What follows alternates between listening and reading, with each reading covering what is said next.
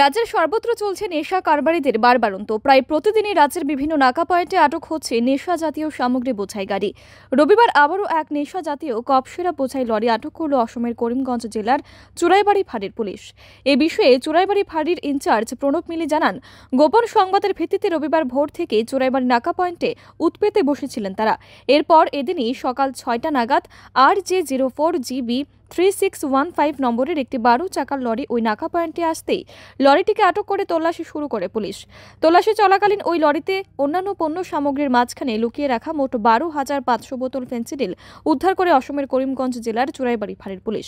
পাশাপাশি গাড়ির চালক ছিনারামকেও আটক করা হয়।